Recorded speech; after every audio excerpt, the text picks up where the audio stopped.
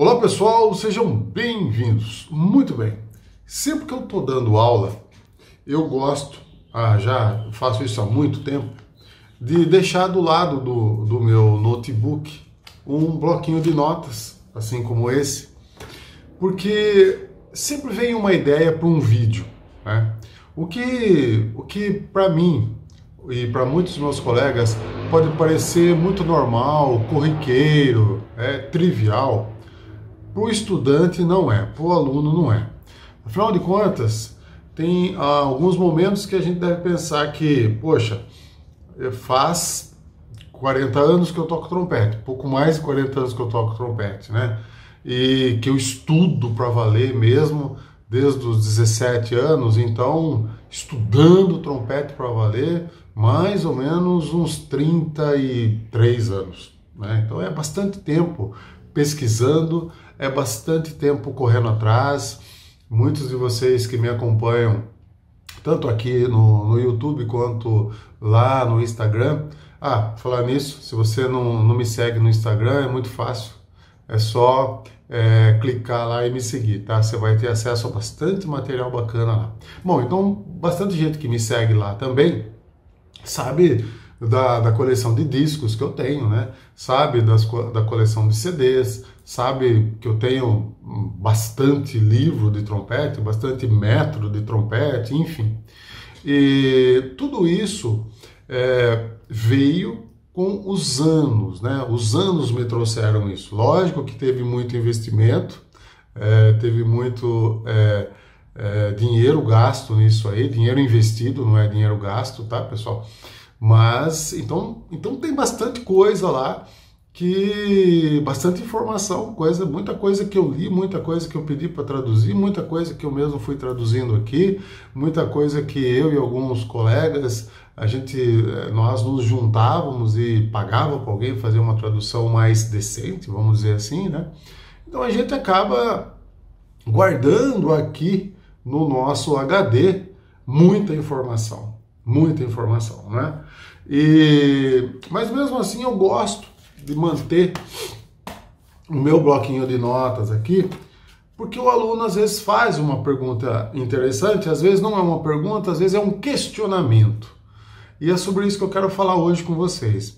Eu estava esses dias né, dando aula para um aluno, um aluno já experiente, né, um aluno que já toca razoavelmente bem, né, bem estudioso, né, é, e aí a gente estava fazendo um determinado exercício e eu falei para ele, olha, agora você vai fazer esse exercício é, numa velocidade bem mais lenta. Né? Vamos, eu vou dar o um exemplo aqui. Ele estava fazendo um exercício a mais ou menos C mínima igual a 92, né? E que seria isso aqui mais ou menos, só para ilustrar para vocês, né? Vamos lá, C mínima 92, né? Isso aqui. Um, dois, três, quatro. Um, dois, três, quatro. Aí eu falei para ele, olha, agora você vai fazer esse exercício a 58.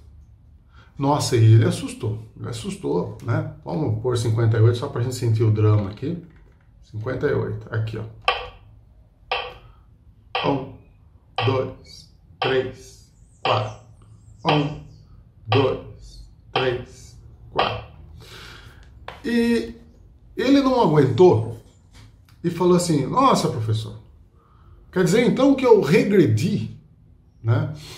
E eu percebi que ele ficou um pouco é, é, incomodado, vamos dizer assim, porque realmente, né, o aluno que está no pique, o aluno que está estudando, que está fazendo as coisas, ele quer a cada aula, ele quer a cada dia avançar e avançar mais. E quando a gente faz uma coisa dessa, e ele não tem o conhecimento do porquê fazer isso, lógico que vai gerar aquela frustração, aquela dúvida. E aí é que tá, pessoal. Aí é que vai entrar o X da questão. Não é nada disso, não é regredir. O que vocês têm que entender, vocês que me acompanham há mais tempo, né?